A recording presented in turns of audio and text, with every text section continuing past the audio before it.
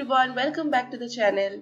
In today's video, I'm going to share two easy one pot meat recipes using sabudana. Both of these are very easy to cook, very filling, very delicious and the perfect recipes for the cold monsoon days. So yeah, let's get started.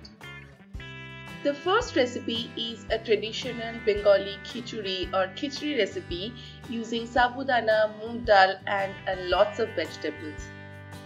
So for this recipe, first I am going to take half a cup of sabudana and dry roast that. This actually makes the sabudana a little less sticky and once it's done, I am going to wash it off and then soak it using 2 cups of water for a while.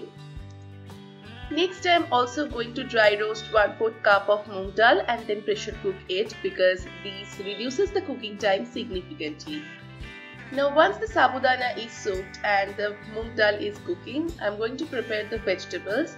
Now I already had the usual mixture of carrots, beans and capsicum in my kitchen and all I needed to do was chopping up some potato and some tomato. So I am chopping up the vegetables into small bite-sized pieces. It reduces the cooking time and also they get mixed well in the khichdi which enhances the taste. And for some added dose of protein, I am also going to chop up some paneer and add it to the khichdi. Now once all these preparations are done, it's time to cook the khichdi. So I started off by adding 2 tablespoons of ghee in a kadai. You can also use refined oil but honestly ghee enhances the taste a lot. And to the ghee I added some jeera and 1 bay leaf and once they are aromatic I first added the potatoes.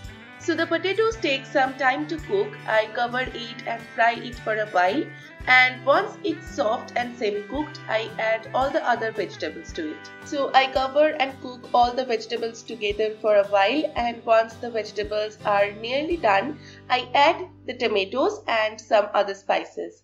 So I added the turmeric, salt and sugar and then mixed everything really well and covered it and cooked it for a while and after 3 or 4 minutes the tomatoes melt and all the vegetables become soft and well cooked and at this point I add the paneer and then soon after I also add the moong dal and the sabu. So first I added the moong dal to the karai and then I drained the sabudana and also added it. And after giving everything a good stir, I added a little over a cup of water to it. And then I keep stirring it continuously. After a while, the sabudana soak up most of the water. They become all transparent and soft. And yeah the khichdi is ready. It's the perfect rainy day meal for me. I just absolutely love this one so the second recipe is a congee recipe which was a very successful experiment. Usually congees or porridge are made with chicken and rice.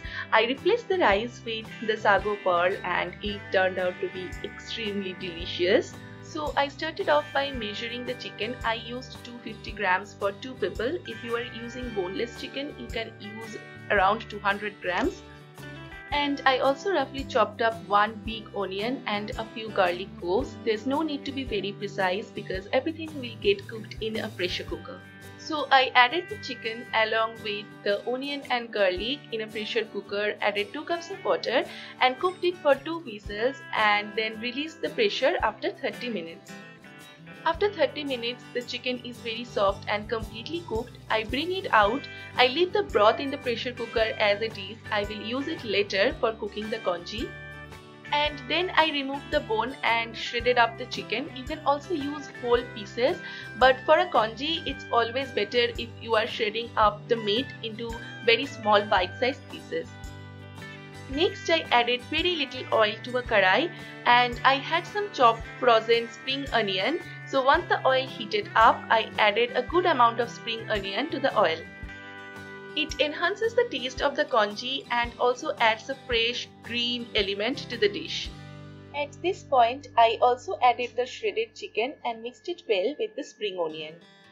And for this dish also I had some soaked sago and I added it to the karai at this point.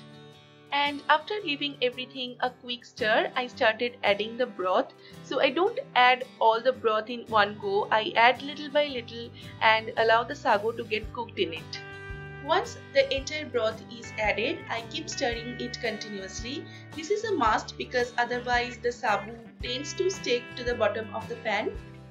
And once the congee thickens up, it is time to add all the different spices and sauces.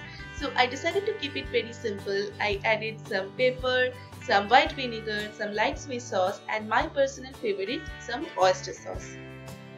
Here's a pro tip, don't add any salt before you taste because most of the times the sauces already contain a lot of salt. For me personally in this congee I did not have to add any extra salt. And yes, the congee is ready. I cover it and allow it to thicken up a little bit more. And after that, I take it in a bowl and add some green chili and some sesame oil. And that's it. I'm not calling it the healthiest one pot meal, but this is definitely very filling and very, very satisfying. Give it a try. I'm sure you will love this one. On a cloudy or rainy day like this, one of these two recipes can be your perfect lunch companion. That is it for this video guys. If you like it, give it a big thumbs up and share your thoughts in the comment section down below. Also, if you have not subscribed yet, don't forget to subscribe. I would love to have you around. I will be back with another video very soon. Till then, take care and bye bye.